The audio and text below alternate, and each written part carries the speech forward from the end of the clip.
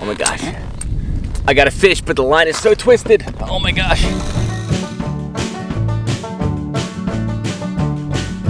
Retro bassin', kicking some ass and wearing rayon jackets.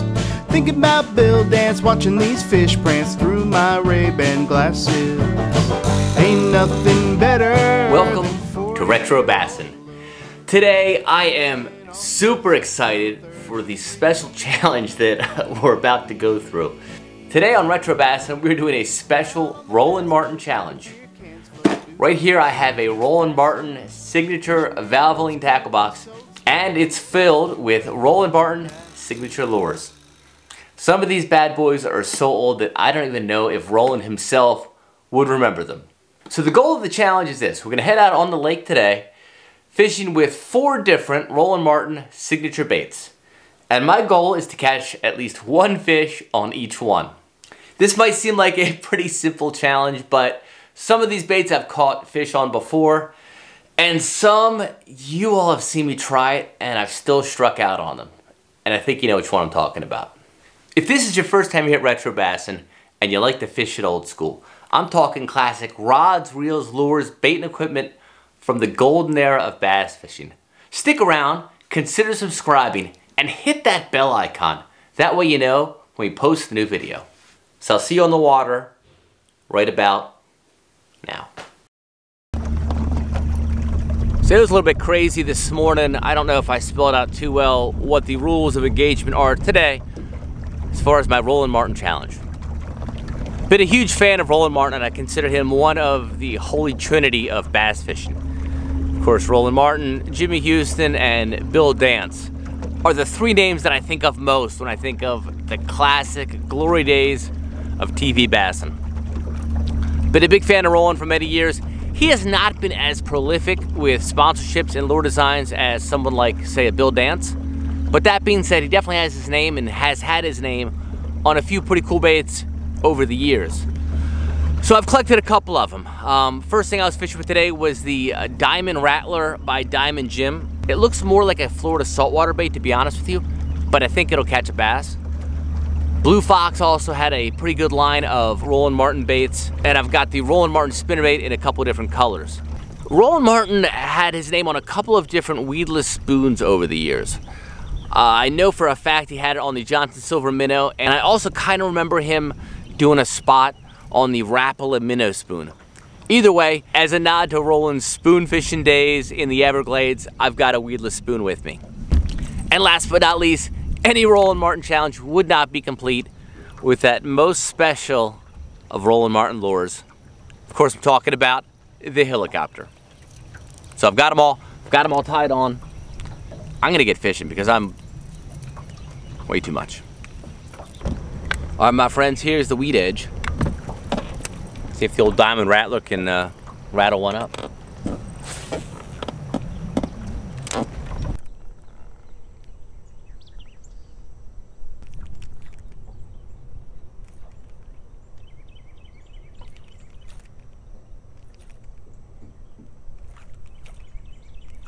So I just missed the fish on the diamond rattler. I feel like they're up in this area. I'm tempted to switch to a different bait, but I think this is gonna be one of my easier bites on the day. So I'm gonna keep on it while the cloud cover is still up. Well, I think there's a good chance of a topwater bite.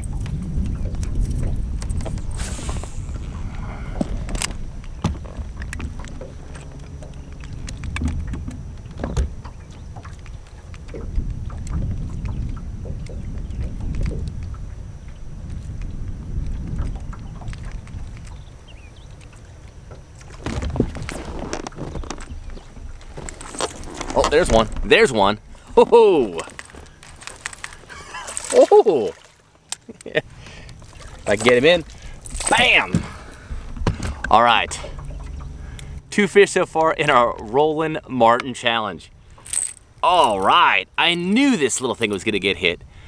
Diamond Rattler strikes, not again, I guess, but strikes once. oh, that was cool. That was cool. I'm pretty much fishing this bait just like I would a Heddon Torpedo.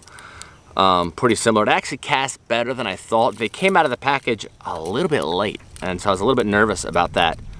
But so far they cast just fine. Well, my line's all jacked up, but that's okay. So here is the Diamond Rattler, and there's the fish. I'm glad that worked. So that is two fish on the day with two baits that I have never fished before. Nice little prefrontal largemouth bass on the old Diamond Rattler. Let's let this dude go and get on to another Roland Martin bait. So now I have a decision to make. Do I go with this, the old school Johnson Silver Minnow, or Golden Minnow in this case, or do I break out the big dog, the helicopter lure? I've caught a ton of fish on this over the years. I've yet to hook one on the helicopter lure, so I'm a little bit nervous about it. I'm up two fish so far. The storms, I think, are gonna pass us, so I think I've got a pretty good shot of being on the water for a little bit. Um, all right, I'm, I'm gonna chicken out. I'm gonna go with the silver minnow. There's a lot of thick weeds here. I think I can get a quick fish on that. And then it's helicopter time. Oof. And meanwhile, I could just be like smoking fish on the top water. Instead, I'm gonna be you know, casting that probably for the rest of the day. the things I do for you, Roland.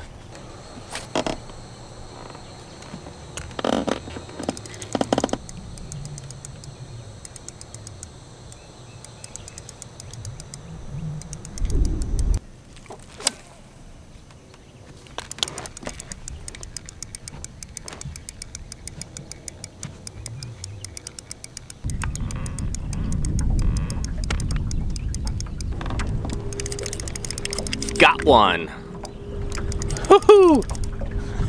Silver minnow, or, or gold minnow that is. oh, oh, that's a nice fish. That's a nice fish. Come on, buddy. All right. I figured out the key. I had to slow that thing way the heck down. I was fishing it way too fast.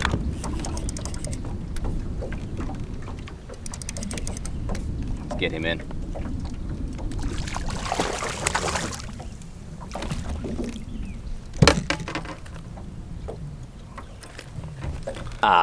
There we go, nice fish on the silver minnow. Boom, that makes three out of four missions complete on the Roland Martin Challenge. Oh my goodness. the conditions have been like crazy today. They've been blowing, it's been sunny, it's been all over the place. Um, I've been working this grass flat and I was fishing this thing way too fast, not by intention, but just because I'm blowing so much. So I really slowed it down. I started dragging it and there we go, a nice fish on the classic, old school silver minnow. Nice. There's number three, baby. Haha. I will let him go.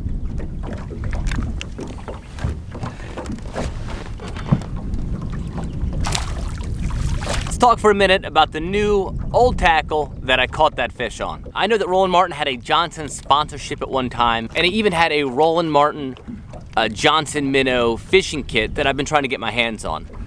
So he definitely fished with the silver minnow. I imagine down in the Florida Everglades, this thing is money. However, I don't know if Roland also fished with this. This is my Johnson spin cast combo. I figured to go with the spoon well. This is a Johnson Century spin cast reel. It's the classic green metal. I think the part number on this is 100B and it's paired up with this, a six foot medium action Johnson AccuRod.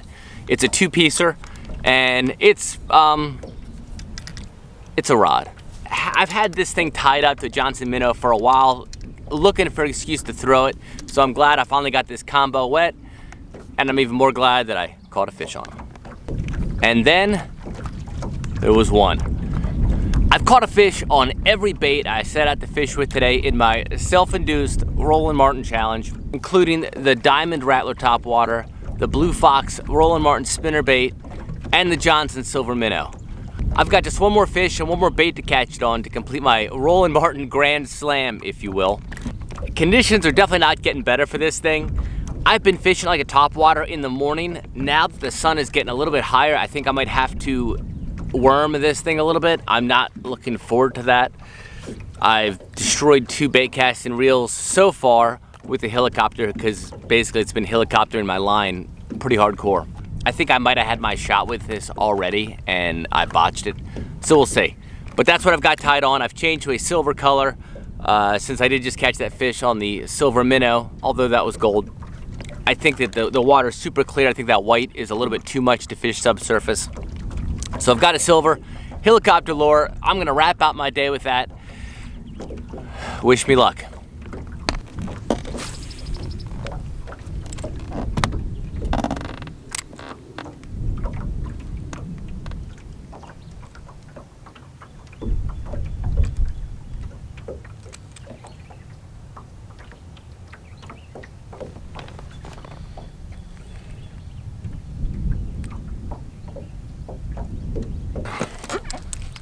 Gosh.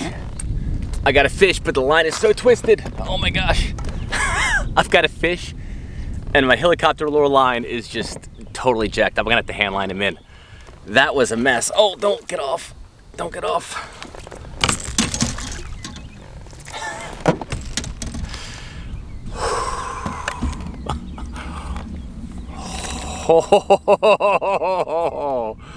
Holy smokes. So of course, that was all, you know, camera off for the good stuff. I was fishing this little grass flat here and I was just slowly letting this thing sort of buzz over the tops like a buzz bait, dropping it down. And right when I did that, this guy hit. I set the hook, but you gotta see this. Because this thing has just been doing this to my line, I don't know if you can see that, all day long. About every third cast, I've gotta stop and let the helicopter lure unhelicopter.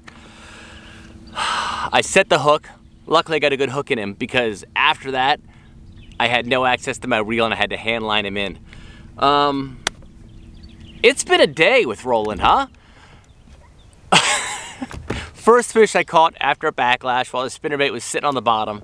This guy I hand lined in on the helicopter lure. But that's how you get it done, son. Four fish, four lures. Roland Martin challenge is complete. Let's let this poor guy go. Oh my gosh.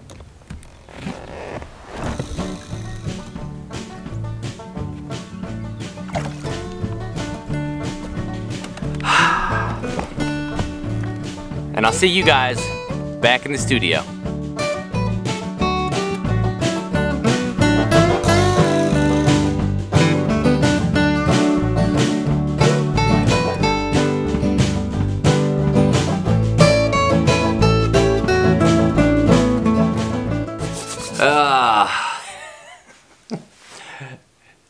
Said and done, honestly, a pretty awesome day on the water. Uh, not necessarily the numbers or the size that I like to catch, uh, but I do feel happy that we were able to get at least one fish on every bait we threw, including some lures that honestly have given me some real trouble over the years. As I mentioned on the water, Roland has not necessarily been as prolific of either a lure designer or a lure endorser as somebody like Bill Dance. That being said, he has had his name on a couple of pretty cool baits over the years, and slowly but surely I've been collecting those baits. In the order that I caught fish, I do want to show you some of these classic Roland Martin baits. Pretty cool packaging, and honestly, Roland is almost unrecognizable in some of the photos. Roland Martin had a pretty good relationship with Blue Fox over the years, and I've got a handful of pretty cool Roland Martin Blue Fox baits. Here are two spinner baits similar to the ones that I was fishing today. So here's the bait I was fishing with today. This is a Roland Martin signature spinner bait, quarter ounce, with a single willow leaf blade. It really fished pretty good in the weeds all said and done, and honestly, it actually casted pretty good for a quarter ounce bait.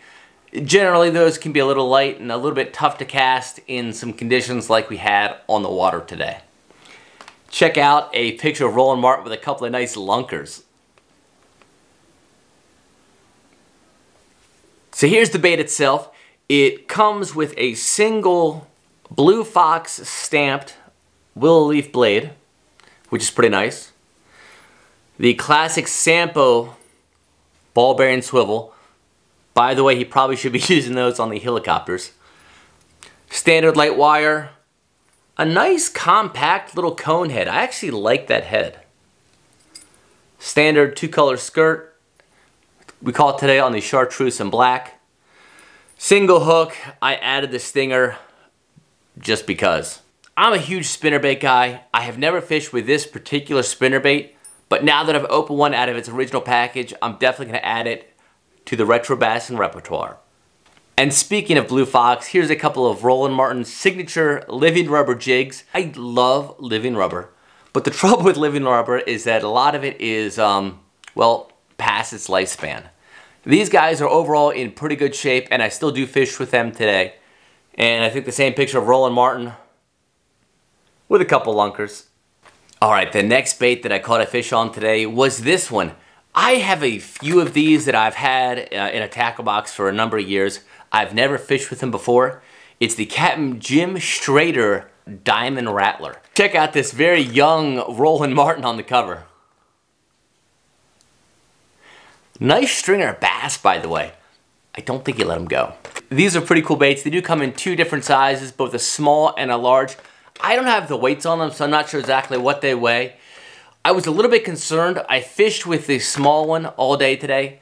I was a little bit concerned it was gonna be tough to cast in that wind.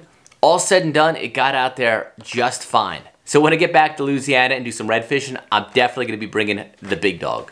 Roland Martin says, Captain Jim Strader's lure, the Diamond Rattler, is the best and only service lure I used in winning the Bass Angler Sportsman Society's tournament on Lake Seminole, Georgia. There's some instructions on the back, which perhaps if I followed them, I might have done a little bit better with the Diamond Rattler today. According to Captain Jim, you'll catch more fish when you follow these simple instructions.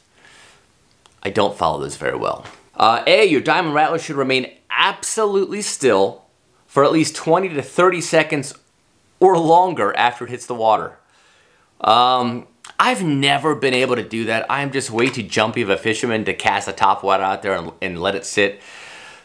You know what, I think that I'll have to get out there and maybe try to adhere that. I've heard that before. You have to cast the lure like a torpedo until the ripples dissipate. I'm just way too jumpy for that.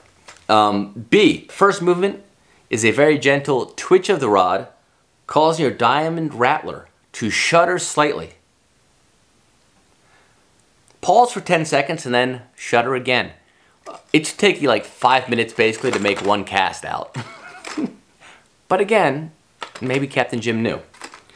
If a fish does not hit, cause your diamond rattler to quote, escape noisily for about two feet by giving the rod a large twitch. Okay.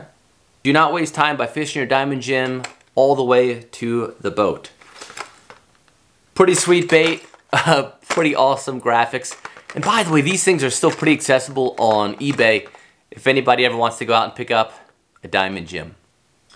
I mentioned that Roland I mentioned that Roland has had a couple of spoon deals over the years. I know for sure that he had a lure kit out by Johnson, and that featured this bait, the classic silver minnow. This is one of the most brilliantly simple lure designs I think I've ever seen.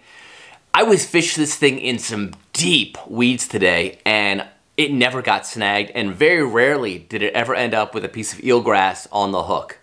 For you youngins out there who don't know what this is and you know it doesn't have a Googan stamp on it so I get it. It's got a nice concave spoon body, a single hook, and then a wire weed guard. And weeds, if you notice, go right over the top. And when a fish hits, boom. I did get one fish on this bait and then I immediately switched to the helicopter. I am absolutely going to be fishing this thing more in the summer and I might even add a little Uncle Josh pork trailer. I had these in my hand too and I almost fished with them today. The first time I remember this bait, the Rapala minnow spoon, it's one of my favorites. I talk about it a lot. But I do remember Roland Martin doing a spot on this particular bait. It comes in a couple different colors. Here's silver. It has a pretty similar design to the silver minnow. And here it is in a nice fire tiger. The reason I remember Roland Martin talking about this bait is he was talking about how to customize the Rapala minnow spoon to better go through weeds. And he was actually taking a pair of pliers and pinching the eyelet just a little bit to make it a little bit more pointy. I had some old baits that I actually had pinched the eyelet on to mimic Roland, So remember that. These days I pretty much leave this thing stock. It's the way to go. It doesn't really get too weedy and I'm always worried I'm gonna weaken that eyelet if I start pinching it. Either way, silver minnow or minnow spoon, both of them are awesome baits for weedy lakes. And last but not least, this bait has given me some heck over the years. Like many of you guys, I'm a sucker for anything with an as seen on TV label or an infomercial, and I definitely have a few boxes of the Roland Martin helicopter lure. The lure came a couple different ways. First off, you could get the kit itself, which came with this awesome VHS video, which by the way, I have like nothing to play it on. So I'd love to watch it, but I can't. And then this, a tackle box full of different color helicopter lures. There were also some blister packs of this thing available. It's a four pack of helicopters, a hook, and the internal weight with the swivel. And there's Roland hanging out with the big old lunker. so this is a bait that I so, I so wish worked. And, and maybe, um, maybe I'm fishing it wrong. Maybe the swivel that I've got is just too old, too crusty, and maybe I just need to upgrade with something a little bit more modern.